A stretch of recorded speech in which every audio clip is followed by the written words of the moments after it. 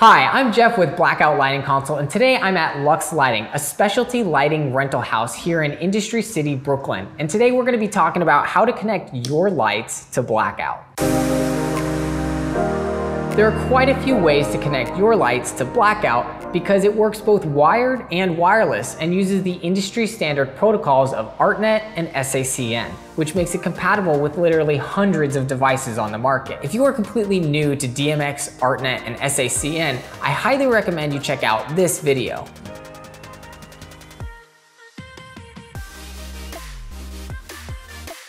To get ArtNet or SACN data out of your iPad, you need to have an Ethernet adapter.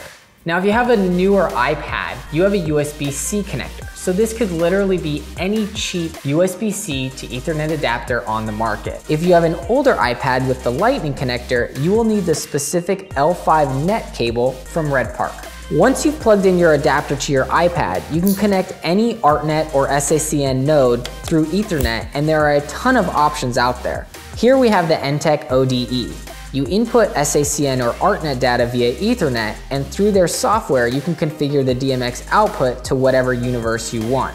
Here I have the EDMX4 Pro by DMX King, which is one of the cheapest four port gateways on the market. It has a PoE port, which means not only do you send it data over ethernet, you also have to send it power over ethernet. You cannot connect your iPad directly to a PoE gateway because it doesn't provide power you first have to go through a PoE switch.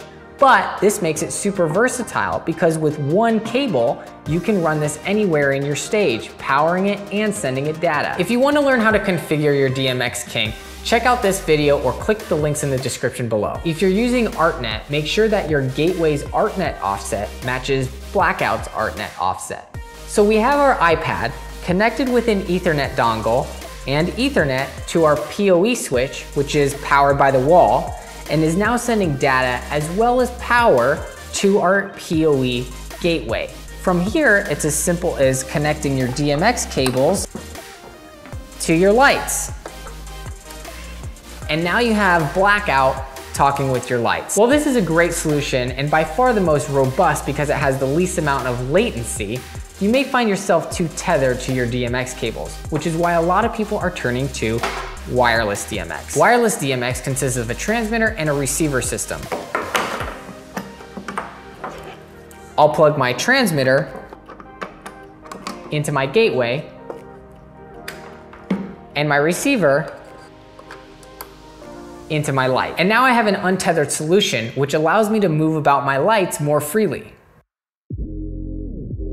This is the same setup we just had, but we're now going to replace our tether connection from our iPad with Wi-Fi. This is a cheap Wi-Fi router I bought off of Amazon, but it could be any Wi-Fi router or access point. We simply connect our ethernet now to our Wi-Fi, lose the dongle, and now connect our iPad's Wi-Fi to our router.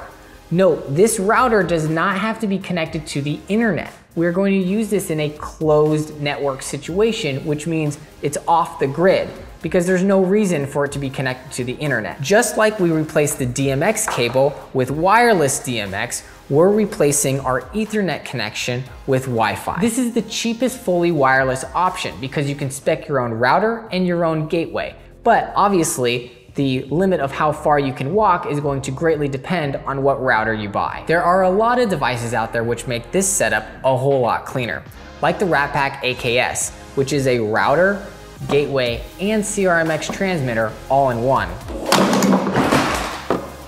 Because this is battery powered, this is by far the cleanest and most mobile solution on the market. You can literally clip this onto your belt, connect up to its Wi-Fi through your iPad, and be transmitting CRMX to your receivers. For those night exteriors where you have lights in lifts or across busy streets, this is definitely an amazing option to go running around with. If you wanna learn how to transmit multiple universes wirelessly, make sure to check out the link in the description below. The latest CRMX transmitters are Bluetooth capable and can connect directly to Blackout via Bluetooth. Just go into the link status dropdown, select Bluetooth, and connect to your device. The thing to note about Bluetooth is that its range is dramatically smaller than Wi-Fi, and it's also a lot slower, which means that effects are not going to be output smoothly. which is why we've disabled effects in blackout over Bluetooth. So if you wanna run effects, you have to be wired or wireless. So those are three completely different ways you can connect blackout to your lights. Hit the like and subscribe button if you found this video informative. Check out Lux Lighting here in Industry City, Brooklyn, and I'll see you in the next video.